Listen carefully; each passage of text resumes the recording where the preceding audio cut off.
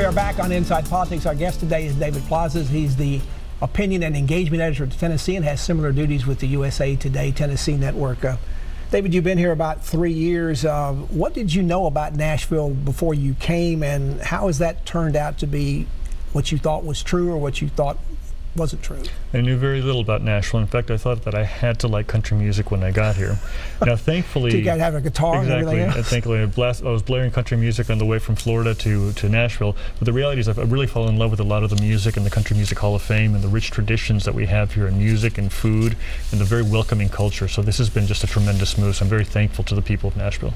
There are a lot of people who think now that after what happened with some of the off off year elections in Virginia recently, that perhaps Tennessee has more of a chance to be a battleground state next year in the midterm congressional elections. Um, you saw what happened in Virginia with the change in their legislature, which also had a Republican supermajority. But are Virginia and Tennessee enough alike to make any comparisons? No, they're not. And I think that Tennessee is going to stay quite red unless something significant happens. There's a lot of call to have uh, former Governor Phil Bredesen join the Senate race.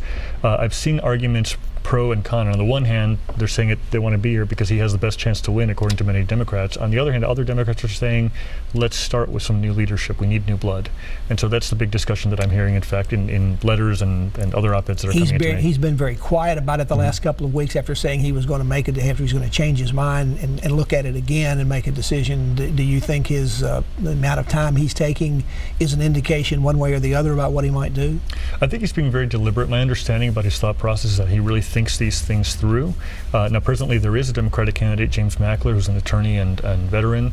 Uh, you had a chance to meet him? Uh, I have. I have. I have had a chance to meet him, and someone with a lot of energy, with a lot of ideas. Uh, um, but he's someone who's not well known, though. That's his Achilles heel, and he would certainly be going against either uh, former Representative Fincher or uh, Congressman Marsha Blackburn. What are your thoughts about that race at this point? This, we did have Andy Ogles get sure. out this week, so we're down to basically those sure. two major candidates on the Republican side. Well, one interesting factor, if we look at the Steve Bannon factor versus the Donald Trump factor, you know, who who will win? You know, Marsha Blackburn is is a supporter of, of Donald Trump.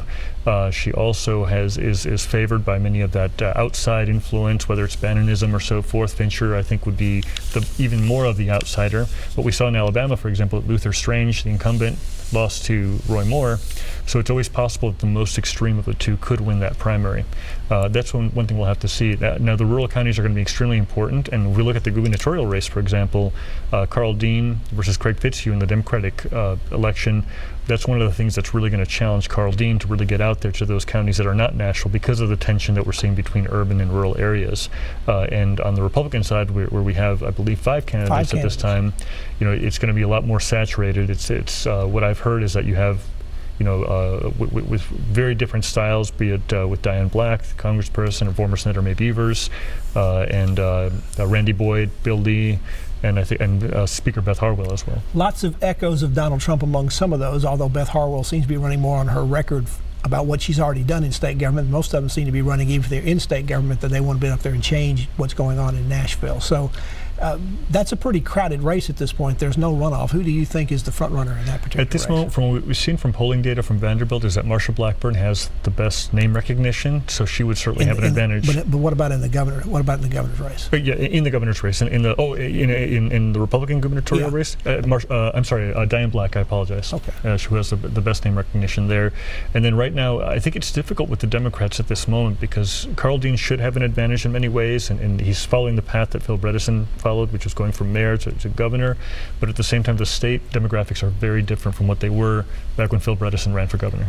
To close out, just very briefly, let's talk a little bit about the evolving role of the media. Are we starting to see what used to be considered print media versus electronic media all kind of blending together as we go in the next few years? I think most important is having credible, trustworthy information regardless of what platform it's on. And so uh, a lot of organizations like ours now consider ourselves primarily digital organizations that also do print. Print is still a very important part of our portfolio, but where the audience is going is in digital. As far as the USA Today Tennessee network, how does that make the Tennessean in particular a better newspaper?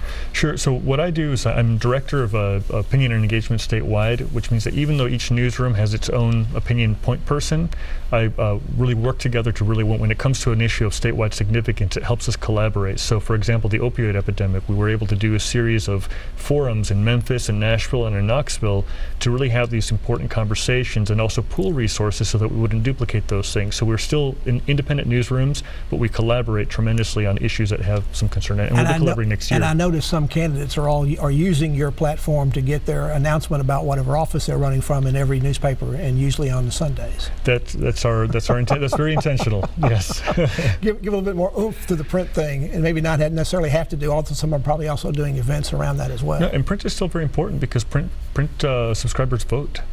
You're also look, looking very quickly on Airbnb. What's that going to be about? Sure. So this is part of the Cost of Growth and, and Change in Nashville series. So part 11 is coming out on the 26th, and it's looking at short-term rentals. And we found some very interesting data, we asked readers to weigh in on this issue, so we'll have more information about what they said when it comes out.